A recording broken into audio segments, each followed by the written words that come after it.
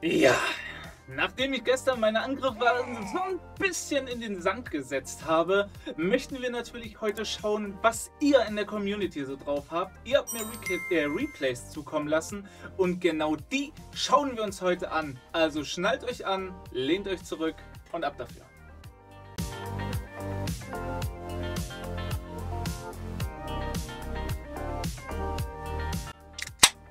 Wichtig, das muss scheppern. Auf euch, ihr Lieben. Auf euch da draußen. So, es geht los. Mhm, mhm. Wir haben Power Yoshi. Power Yoshi, Grüße gehen raus. Er hat uns geschickt. Ich habe dir einen Hybrid gesendet. Okay. Er schreibt: Guten Tag, Herr Dulli. Ich habe auf Rathaus 13 angefangen, Queen Charge Hybrid zu spielen und habe hier einen knackigen 3-Star auf einen fast Max Stratos 13er für dich. Falls jemand Tipps für Queen Charge Hybrid hat, bin ich immer offen dafür. Gruß Yoshi. Das ist natürlich sehr, sehr herzlich. Das ist schön. Lieben Dank, lieber Yoshi. Schön, dass du uns das eingesendet hast.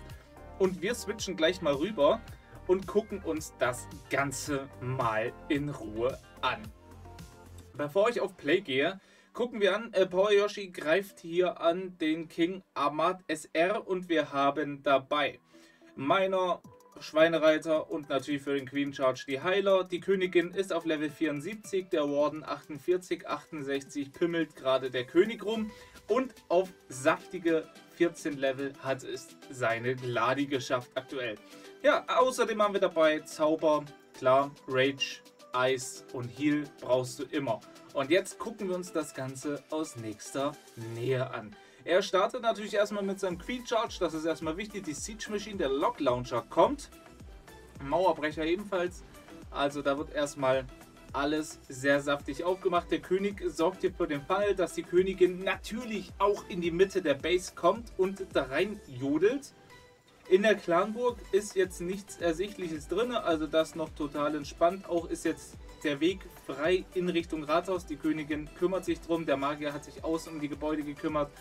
Wichtig, ein sehr, sehr schöner Funnel. Ein wirklich sehr, sehr saftiger Funnel. Jetzt hier einen sehr, sehr schönen Freeze. Der König war leider nicht im Freeze, aber ist nicht weiter tragisch. Du willst jetzt eigentlich relativ schnell da noch die Luftabwehr rausschießen und die Luftfeder, damit deine Heiler nicht unter Beschuss stehen bzw. nicht abgefuckt werden, deine Königin schön weiter geheilt wird. Jetzt haben wir hier natürlich das Thema mit einem Single Inferno und er zündet natürlich wichtig, dass er seine Queen hier zündet und kriegt nochmal massiv Gebäude raus. Du willst jetzt eigentlich noch diesen Single haben, perfekt. Er raged auch noch richtig stark rein. Also dieser Queen Charge, da können sich mal ein paar Leute eine Scheibe von abschneiden. Ich nehme ein ganzes Brot denn so einen guten Queen Charger habe ich lange nicht gespielt und auch nicht gesehen. Außer bei Skipio natürlich, aber das ist eine Ausnahme. Ja, der Junge, der spielt ja schon fast in der Profiliga. Jetzt geht es hier los. Die Miner kommen und auch die Schweinis sind hier schon gut im Einsatz. Er hat auch direkt gezündet. Ja, da kamen auch einige Bomben. Du willst natürlich deine Zauber noch ein bisschen beibehalten. Es gibt doch nicht mehr so viel Flächenschaden, ja. Du hast jetzt da noch ein paar Magier, du hast jetzt da nochmal, da dann schön Freeze gesetzt. Wenn der Magierturm und der Scatter-Shot draußen ist, ist die Sache eigentlich schon durch, weil die Königin im Alleingang ja schon fast die halbe Base auseinandergenommen hat. Also lieber Yoshi, das ist wirklich ein sehr, sehr starker äh, Hybridangriff. Der hat wirklich richtig gefruchtet. Und das macht richtig Spaß dazu zu gucken, wie du die komplette Basis demontierst. Geil. Das fühle ich richtig. Ja, die Königin hat es leider auch entschärft, sehe ich gerade. Die ist nicht mehr da, aber gut, ist auch nicht weiter tragisch. Die Heiler sind am Start und haben die Miner noch ein bisschen hochgepusht. Und dann kommen wir hier auf ganz, ganz saftige, ja, drei Sterne. Ah, trinken ist richtig und wichtig. Und wieder einen Power Yoshi, den wir hier haben. Ja? Mhm. Er schickt uns direkt zwei Angriffe. Guten Tag, Herr Fiedler. Wir sind aufgestiegen von Guten Tag, Herr Dulli auf Fiedler. Ja? Da bin ich wieder. Ich hoffe, dir geht's gut. Mir geht es jetzt sehr gut, nachdem du mir geschrieben hast. Sehr, sehr gut geht es mir. Dieses Mal habe ich es geschafft, als Rathaus 13er einen Rathaus 15er ein bisschen gerusht im CW 3 Sterne zu nehmen. Er war der zweite, ich der vierte im Clan. Also das ist wirklich schon mal eine krasse Ansage. Und jetzt ratet mal, was er gespielt hat. Schreibt es jetzt in die Kommentare. Drückt auf Pause und jetzt in die Kommentare. Denn jetzt pass auf und haltet euch fest und dreht jetzt nicht durch, Freunde. Ich weiß, ihr dreht gerne durch, aber ihr hört jetzt auf. Rate mal, welche Strat ich dazu benutzt habe.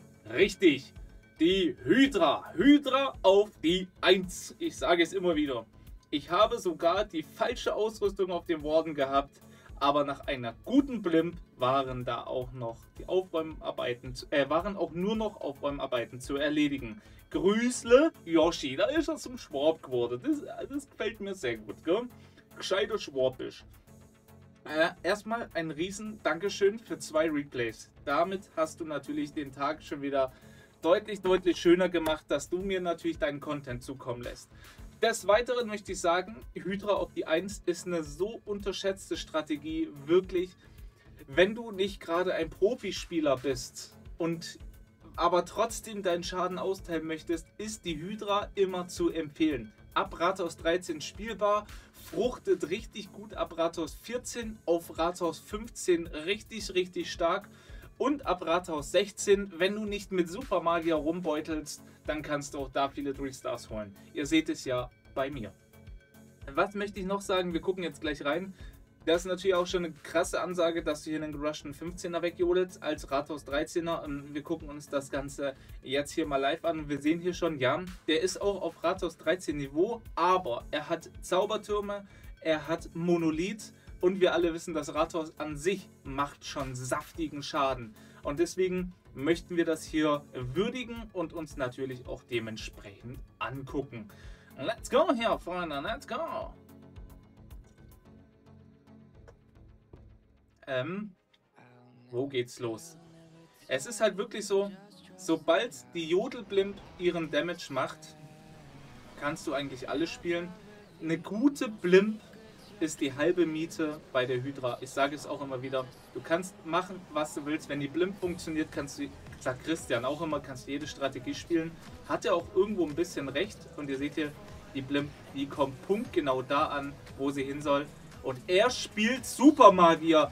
Bist du deppert? Er zeigt mir das. Guck, gucke mal an. Na, gucke das an.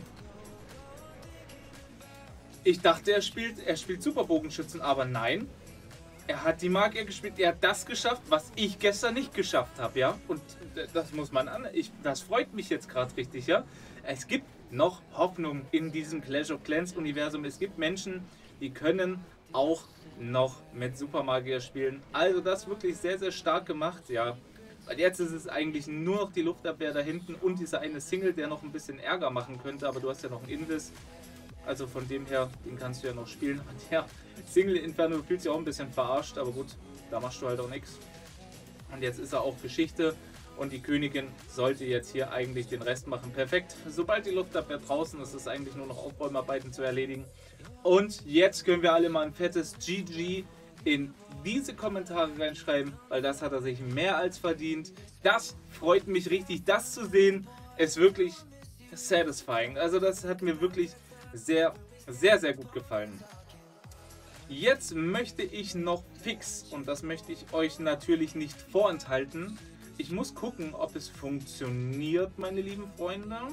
Und jetzt passt halt auf und dreht nicht durch. Ich habe gestern im CW verkackt, aber ist nicht weiter tragisch.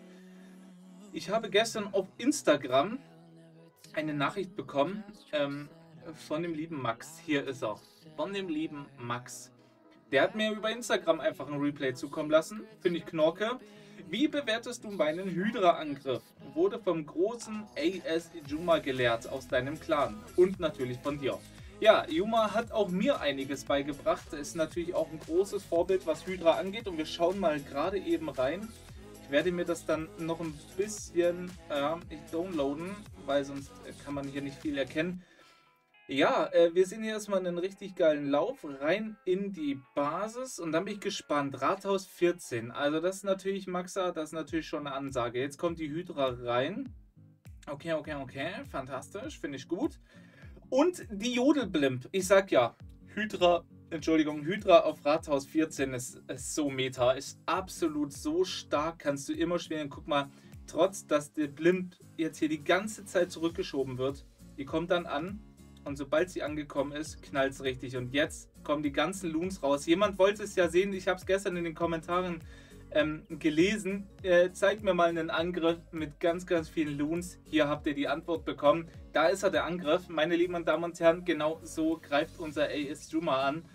Und äh, natürlich jetzt auch gut gelehrt. Und guckt euch mal an, was da für ein Riesenloch in der Mitte ist. Ja, also die Loons, die haben ja wirklich alles vernichtet. Klar, die platzen dann noch schnell. Aber was willst du machen?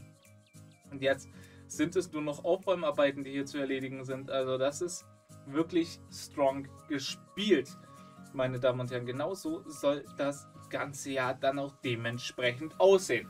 Und was wäre denn eine Folge, wenn der Captain der Dullis nicht auch noch einen Live-Angriff machen würde? Also lieber Max, ich bewerte diesen Angriff als sehr, sehr gelungen. Ich habe das auch geübt. Mir ist es nicht so gut gelungen wie dir. Auch die vorigen Angriffe von Yoshi sehr, sehr stark. Jetzt fahre ich mal eben kurz meinen Clash of Clans hoch. Und dann sehen wir uns gleich wieder und dann greifen wir noch live an. Okay, ihr seht hier, wir haben mal wieder unsere geliebte Strategie aus, ja, an der wir auch arbeiten wollen, ja, an der ich mich auch verbessern möchte. Ich weiß nur nicht, ob das hier der richtige Weg ist. Ich habe hier nämlich schon verkackt. Ja, hier habe ich gestern schon eine Schelle bekommen. Ähm, Christian hat mir schon geschrieben, nein, bitte nicht, deine Queen stirbt am Monolith durch Fähigkeit und wenn du das machen willst. Ja, sie ist nicht am Monolithen gestorben, aber leider an anderen Dingen. Ähm, jetzt gilt es hier noch ein bisschen aufzuräumen. Ähm, ja, gucken wir uns den mal fix an und vielleicht greifen wir auch einen Rathaus 16 an. Ich hätte schon Bock irgendwie. Und das würde sich halt auch so hart anbieten, ne? Den anzugreifen, das wäre schon satisfying. Ich weiß nicht, ob ich auf Risiko gehen soll. Wie sieht es denn aktuell aus? Das ist der Neuner. Hm, wie sieht es denn aktuell aus? Jetzt lasset mich mal schauen. Den hat keiner reserviert. Und wir liegen extrem gut vorne. Also hätte ich gesagt gehabt, Christian, ich weiß, du wirst das hassen, aber ich muss diese Strategie üben, weil ich besser werden will. Ich hoffe, du, du siehst mir das nach, wenn ich nicht drei Sterne hole. Ich habe auch gerade keinen Tester, also ich könnte auch meine Truppen nicht boosten gerade. Ja, das dazu. Dann würde ich sagen, ähm, ja, hier ist ja eh schon alles super angegriffen und super vernichtet worden. Ich könnte auch einen Rathaus 15er angreifen. Wie sieht es denn aktuell von den Angriffen aus? 1, 2, 3, 4, 5, 6, 7, 8, 9, 10, 11, 12, 13, 14 Angriffe noch frei. Das heißt, hier könnte man auf jeden Fall, Christian wird sowieso noch aufräumen. 1, 2, 3, 4, 5, 6, 7, 8, 9. Man muss auch ein bisschen taktisch handeln. Okay, gucken wir uns den an und dann entscheide ich kurz. Ja, aber ich würde beide Luftabwehren kriegen. Also das ist im Prinzip auch eine Boxbasis. Im Prinzip, wenn ich die Königin... Hm, ja, könnte man so spielen, Tatsache. Könnte man Tatsache so spielen. Ist die Frage, soll ich das auch so machen? Und die Gladi dann hier reinspielen und dann die Königin hier drüben reinspielen und da lang laufen lassen. Also es macht schon Sinn irgendwo und irgendwie. Ich würde sagen, komm, scheiß drauf, wir greifen den jetzt einfach an, Digga. Was willst du mir machen? Was will Dr. Nörgel machen? Ist doch klar. Der kann mich am Arsch lecken. Und wir greifen an. Liebe Freunde, wir greifen an. Jetzt drückt uns die Daumen wir haben erstmal hier was zu tun. Da sind sehr viele Mörser, das gefällt mir gar nicht. Ich werde es ein bisschen anders machen. Ich werde erstmal hier gucken, ob hier was versteckt ist. Nein, ist es natürlich nicht. Fantastisch. Dann spielen wir das hier rein. Und wir spielen jetzt hier drüben die Königin rein. Und zwar erstmal hier den Kollegen und die Königin dann hier reinjodeln lassen. 1, 2, 3, 4. Und dann lassen wir die erstmal laufen. Ich hoffe, dass die soll natürlich jetzt hier auch relativ schnell Damage austeilen. Ja, die soll am besten beide Luftabwehren kriegen. Müssen wir mal schauen, wie das Ganze wird. Wir ebnen hier auch den Weg, dass sie eventuell reingeht. Ja. Notfalls muss ich sie halt wirklich auch nochmal woanders reinspielen. Aber nimmt sie die Luftabwehr auch raus, ist die Frage. Nimmt sie die Luftabwehr raus? Wir ragen sie mal kurz. Nimmt sie die Luftabwehr? Nein, nimmt sie nicht. Schade. Ich muss meine Heiler retten. Das ist, äh, hat leider Priorität. Und spiele sie jetzt hier oben rein mit einem nächsten Heiler. Und wir machen es jetzt ganz, ganz clever. Wir spielen jetzt hier unten den Dulli rein und hier drüben den König rein. Sollen die sich drum kümmern. Jetzt spielen wir hier die Loons rein und die Superdrachen. Spielen unsere Strategie und wurzeln erstmal diesen Dulli hier. So, der darf jetzt zwar einmal schießen, interessiert uns aber nicht weiter. Wir werden jetzt hier erstmal einen Gift setzen und einen Freeze und dann heilen wir erstmal unseren Warden und dann geht es los. Hier drüben spielen wir das hier rein, das wollen wir natürlich, ja. Du möchtest natürlich immer schnellstmöglich die Luftabwehr auch rausbekommen. Königin muss sich zünden. Gladi, Gladi macht ihren Job fantastisch. Gladi macht ihren Job wirklich fantastisch. Wir heilen hier mal kurz gegen. Ja. Ein Rage haben wir noch immer. Wir haben noch immer einen Rage. Also es kann noch alles funktionieren hier, Freunde. Es kann noch alles funktionieren. Wenn wir jetzt hier den Single rauskriegen. Ah, ja, haben wir rausgekriegt. Okay, perfekt. Perfekt, perfekt, perfekt. Jetzt spielen wir hier da das rein. Jetzt muss es funktionieren. Kommt schon. Jetzt muss der Damage ausgeteilt werden, Freunde. Königin, gib Gas. Ich kann sie nicht mehr, ich kann nichts mehr machen mit ihr. Der König ist am Abfacken, hoch 10. Macht die Königin das noch? Macht die Königin... Ah, sie macht es leider nicht mehr. Scheiße. Sie macht es leider nicht mehr. Heldenlevel, Fähigkeitslevel, es fehlt an allem. Es ist leider so. Es ist leider, das, das ist das, das, das Problem, was wir immer haben. Ja, jetzt haben wir zwar noch einiges, die Königin wird jetzt da schnell platzen, das ist klar. Aber jetzt der König, weiß ich nicht, der muss sich jetzt durch so viele Mauern durchschnetzen, das wird er nicht mehr kriegen. Schade.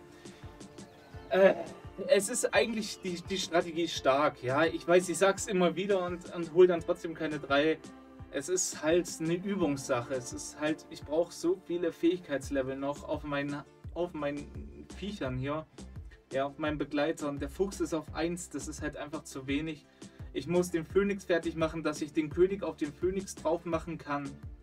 Ich muss überall noch besser ausbauen und natürlich hier haben wir natürlich noch einiges, was wir ausbauen müssen. Also Bleibt ruhig, die Strategie wird noch besser. Ich verspreche es euch hoch und heilig. Doch jetzt möchte ich mich erstmal bedanken fürs Zusehen, dass ihr meine Gäste wart. Lasst doch gerne Like, Kommentar und Abo da, wenn du neu auf dem Kanal bist. Auch die anderen Veteranen dürfen das. Und ich trinke natürlich auf euch. Ist doch klar, weil ich euch liebe. Cheers!